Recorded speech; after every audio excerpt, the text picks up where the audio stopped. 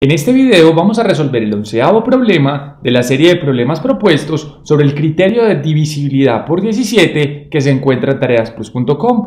Antes de comenzar, vamos a recordar entonces qué nos dice la regla. La regla dice que si yo tengo un número y quiero saber si es divisible por 17, tomo la última cifra, la multiplico por 5 y ese resultado se lo resto al número que resulta de quitarle esa cifra. Y si después de efectuar esta operación el resultado da 0 o múltiplo de 17, el número es divisible por 17, vamos a verlo. Entonces vamos a observar este primer número, 42.880. Entonces lo primero que vamos a hacer, como lo acabamos de mencionar, es separar la última cifra que es el 0, multiplicarla por 5 y restársela al número que queda. Y en este caso el número que queda es 4288. Entonces tendríamos lo siguiente, 4288 menos 5 que multiplica la última cifra que es 0. Entonces esto va a ser igual a tener 4000 288 menos 5 por 0 es igual a 0 y si efectuamos esta operación tendríamos entonces 4288 pero observemos que a simple vista este número con este número no nos damos cuenta si es múltiplo o, o es múltiplo de 17 entonces vamos a aplicar el criterio sobre este número para reducirlo un poco más para volverlo más pequeño. Entonces tendríamos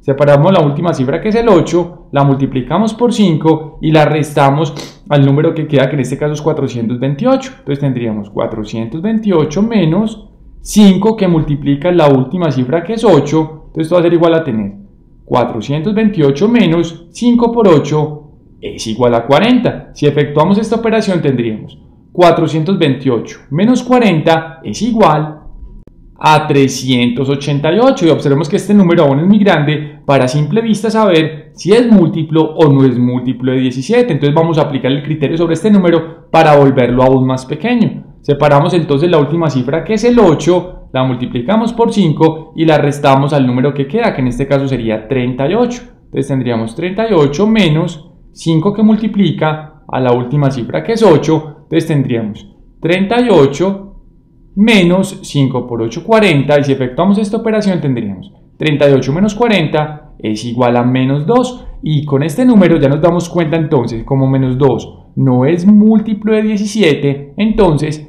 42.880 no es divisible por, 7, por 17. Ahora vamos a observar este segundo número, 53.125. Entonces vamos a separar la última cifra que es el 5, la multiplicamos por 5 y la restamos del número que queda. En este caso el número que queda sería 5312. Entonces tendríamos 5312 menos 5 que multiplica la última cifra que es 5. Entonces esto va a ser igual a tener a 5312 menos 5 por 5, 25. Y si efectuamos esta operación tendríamos 5312 menos 25 es igual a 5287. Observemos que este número aún es muy grande para simple vista, a simple vista saber si es múltiplo o no es múltiplo de 17. Entonces vamos a aplicar el criterio sobre este número para volverlo aún más pequeño. Entonces separamos la última cifra que es el 7, la multiplicamos por 5 y la restamos del número que queda, que en este caso sería 528. Entonces tendríamos 528 menos 5 que multiplica la última cifra que es 7. Esto va a ser igual a tener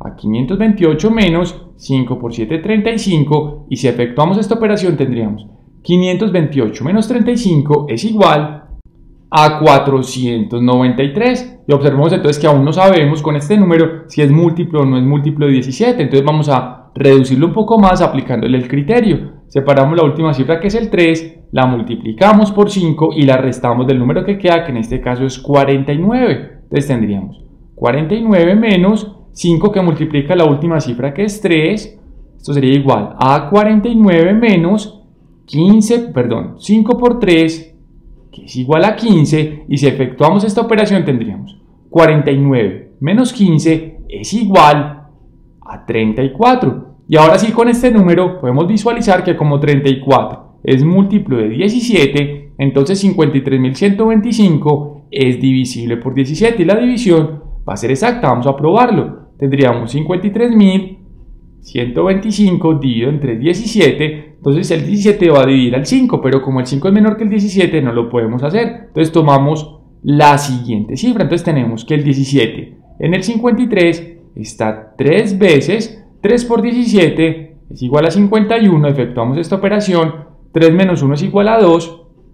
5 menos 5 es igual a 0. Bajamos entonces el 1 el 17 en el 21 está una vez, 1 por 17 es igual a 17, efectuamos esta operación 1 menos 7, pero como 1 es menor que 7, entonces lo que va a pasar es que el 1 le va a pedir prestada una unidad al 2, si el 2 le presta una unidad al 1, el 1 se convierte en 11 y el 2 queda convertido en 1. Entonces tendríamos 11 menos 7 es igual a 4 y 1 menos 1 es igual a 0. Bajamos el 2, el 17 en el 42 está 2 veces, 2 por 17 es igual a 34, efectuamos esta operación, 2 menos 4, pero como 2 es menor que 4 no podemos hacer esta resta. Entonces el 2 le va a pedir prestado una unidad al 4, el 4 al prestarle una unidad al 2 queda convertido en 3, coloquémoslo por acá, y el 2 queda convertido en 12. Entonces tendríamos 12 menos 4 es igual a 8 y 3 menos 3 es igual a 0. Y finalmente entonces bajamos el 5 y el 17 en el 85 está 5 veces. 5 por 17 es igual a 85, coloquémoslo por este lado por cuestión de espacio. vamos a colocar este mismo número acá, 0,85 y ahora sí, 5 por 17 es igual a 85, efectuamos esta operación y tendríamos 5 menos 5 es igual a 0 y 8 menos 8 es igual a 0. Como el residuo es 0, tenemos que nuestra división es exacta. O sea que el resultado de dividir 53.125 entre 17 es igual a 3.125. Los invito a continuación a nuestro siguiente video donde vamos a resolver más ejemplos sobre el criterio de divisibilidad por 17.